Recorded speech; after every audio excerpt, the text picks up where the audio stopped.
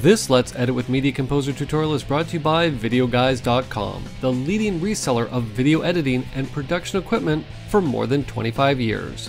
And by Boris FX, a leading developer of visual effects, titling, video editing, and workflow tools and plugins for broadcast, post production, and film professionals.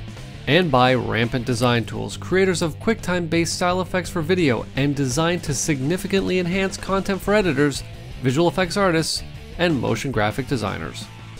Hey everyone, Kevin P. McAuliffe here, and I am back again with another Let's Edit with Avid Media Composer tutorial. And in this lesson, we're heading back to the Avid Editors of Facebook page for some inspiration. And what we're going to be talking about in this lesson is a situation that many editors run into. And that is where they seemingly have lost clips that are in their project. They may have accidentally been deleted. Now, we're not talking about media we're talking about the actual master clips. Now, whether they've been deleted or whether you're just not being able to see them, again, this is a common problem that a lot of editors run into. So in this lesson, I want to show you how you're going to be able to track down media that might appear to be missing very quickly and very easily and get it back so that you can have your project looking the way it was when you started. Now before we go on, I want to remind you that these tutorials are designed to get in and take a very in-depth look at very specific aspects of editing inside of Avid Media Composer. But sometimes you just need to get the information and get yourself up and running lightning fast. Well, if that's the case, head on over and check out my macProVideo training series on Media Composer, where lesson one will get you up and running in Media Composer in about an hour. Alright, so let's Command or Alt and Tab into Avid Media Composer.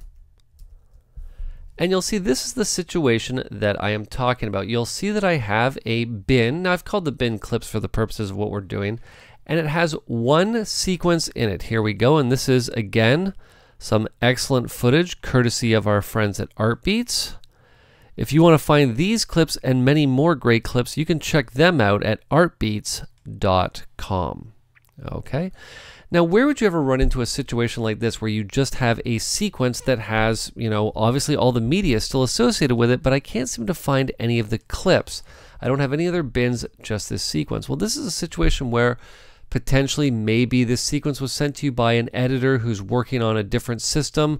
You're all connected to the same network, and you just have the sequence, but none of the clips. Now, there's a few things that you can do to sort of orient yourself and to try to figure out, or at least start to figure out what has happened with these clips. Now, what I normally tell editors to do, the very first thing that you always need to do is to figure out what exactly is being displayed in your bin. Now, how do we go about doing that? Because most editors think, well, I know it's being displayed in my bin because I can see it, but that's not necessarily true. Okay. With every bin, what you have the ability to do is at the bottom, come down to the bottom to the fast menu, and you have an option here called Set Bin Display.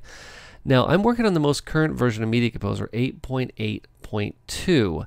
And you can see that I, my menus might look slightly different than yours if you're working on an older version of Media Composer, but this command will always be found in this fast menu. Okay. Now what I'm going to do is I'm going to click on Set Bin Display. Now what this basically does is it tells Media Composer what clips you'd like to see in your project. Okay.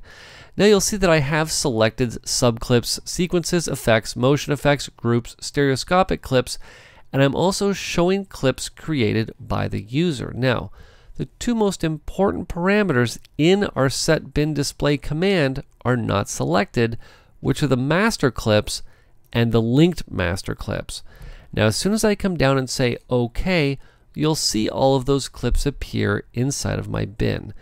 Now you're probably thinking to yourself, Kev, I would never, ever, ever, ever, ever, ever, ever use the set bin display command. And I'm going to show you a perfect reason to use it.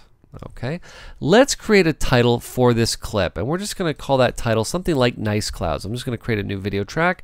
It doesn't matter which title tool we use, we'll just choose the standard title tool. And we're just going to type in nice clouds. Okay, nothing fancy. But what I'm going to do is it's actually going to be nice clues. Okay, because I've spelt this incorrectly. We're just going to save this title. Okay, and we'll just save it to the same memo we're working on because that's exactly what we actually want to do. And I'm going to call this nice. I'll actually spell this correctly. Nice clouds. I'll say save. There's my nice clouds. Let's just drop this in. There we go. Okay. So now you'll notice that what's happened is, is that this title has been created in the only bin that I have open. Okay, so let's just create a new bin, and for the purpose of what we're doing, we'll call this graphics. Okay, I'm just going to switch over to that other bin. I should probably move it so that I have easier access to it here. We'll just move our project up a little bit here. That's a little bit better. Okay, I'm going to move my cloud's original graphic into that bin.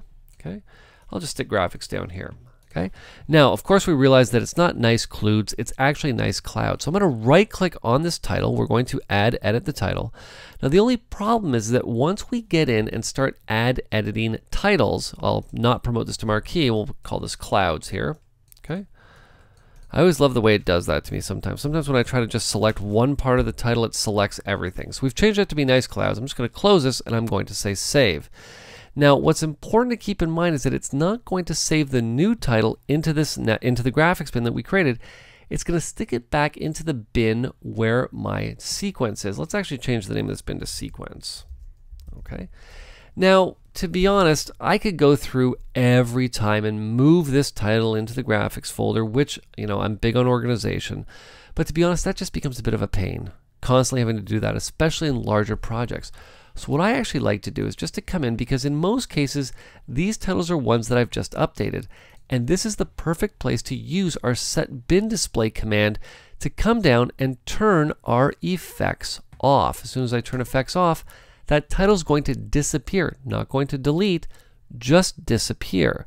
So now it'll still be in the bin. I'll still have access to it if I need access to it. I'm actually just going to remove it from here. Okay but I won't be able to see it. So if I end up having to update this title, you know, 10, 15, 30, 50 times, I'll have all 50 instances of that title in here, and maybe I only want to clean it up at the end of the day.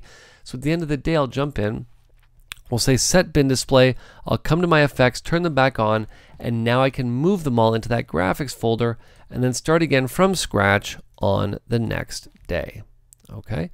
Now, this was a situation where using set bin display helped us because it actually showed us that we weren't seeing all of the clips in our project. Now, I'm about to do something that normally causes a lot of editors to have a little bit of anxiety, a little bit of panic. We're going to select everything but my timeline, and I'm going to delete only the master clips. I'm not going to delete the associated media files. Okay, so once I delete those, my sequence is still here. Again, set bin display, you'll see we're showing everything. I can actually turn the effects on here and say, okay, you'll see we got nothing associated with this timeline. But we do have all of the media associated with it. So what do we do in a situation like this? Because many editors say, well, Kev, you can just match frame this clip and you could say, find it for me in the bin. The only problem is, is that Media Composer knows that that clip is now no longer in this bin. It's been removed or it's been moved somewhere else.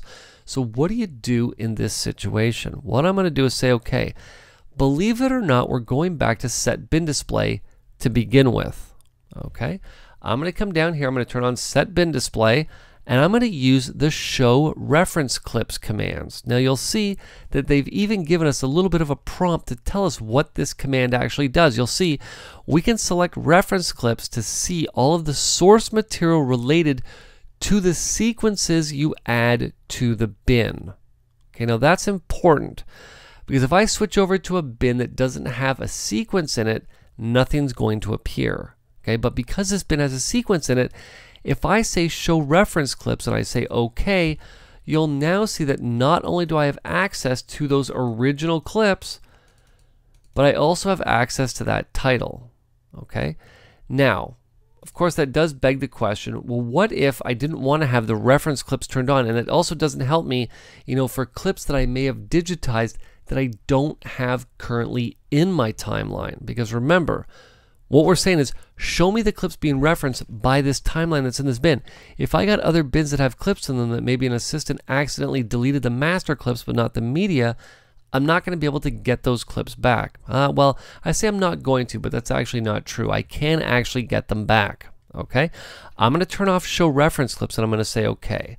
We're going to create a new bin. I'm going to call this rescued master clips. I'll put and AMA. Okay. And we're going to take this bin again right down to the very bottom. Now this is where my good friend, the media tool comes into play. Okay. What we're going to do is head up to Tools. I'm going to come down to Media Tool. Okay, now again, you might find things in a slightly different place depending on the version of Media Composer you're using. So your Tools drop down organization might seem a little bit different, but the Media tool is definitely in there. Now what we want to do is say, show me all of the media on Media 1 associated with this current project, but all that I want to see is the master clips and the linked master clips. So as soon as I say OK, you'll see that I actually have a few clips that appear inside of this bin, okay, or inside of the media tool, some of which were brought in today, some of which weren't brought in today. You'll see I've got some older clips in here as well. But what doing this gives me the ability to now do is to take these clips and bring them back into my bin, just like that. Now remember, if I come down here and I say show, or show reference clips and I say OK, it's not referencing anything because we don't have a timeline that's in this bin, so everything's just going to stay the way that it was, okay? So let's now turn that off. Now remember, these are also clips that are physically living in my bin. They're not, like they're not, um, they haven't disappeared or been removed, so that's why uh, show reference clips doesn't do anything. So again, now all we have to do is simply come in and I could select the AA uh, or the A099 CO27 clip. And the best part is, is that at any time, you could simply double click on any one of these clips to see exactly what clips they are. Now, I know that this clip is one that we used. I can drag that out. And I also know that if we come down a little bit further here, let me just drag this down so it's not going to impede on my source browser here that this clip, I believe, was the other one that we had used, and that was 04C043, which it definitely was. Let's drag it out of there. Let's now close that bin there. And now what's going to happen is if I come to one of these clips and I match frame it and I tell it to find the bin that it's associated with, you'll see that it immediately recognizes that that clip is now in this bin and ready to be used in any other timeline that I happen to be working on. And one last little quick tip that I do want to give you. Again, I'm just going to select these clips. I'm just going to delete the master clips because let's just say hypothetically I only wanted to bring back the clips that were currently in this timeline. What we can do is head back to the media tool. Again, I'm just going to leave everything the way that it was. I'm going to say OK because we got some clips in here that I don't currently have in this timeline. All I have to do is to select my sequence. I can come up to bin, I can come down to select, and I can say select just the media relatives. You'll see they immediately appear inside of the media tool selected. I can now take those, drag them to the bin, and we're now back up and running exactly the way that we were when we started.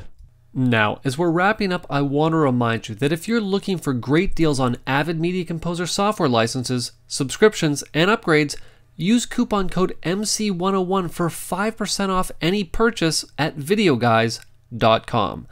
MC101 is going to be a coupon code that you're going to love because the great team at Boris FX is offering a 10% discount on BCC10 AVX or multi host licenses, full or upgrades, again using the coupon code MC101. And finally, Rampant Design Tools is offering 25% off any non discounted product they offer in their library, again you guessed it, by using coupon code MC101.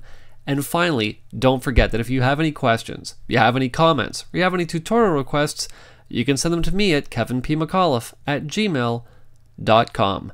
This has been Kevin P. McAuliffe. Thanks a lot for watching.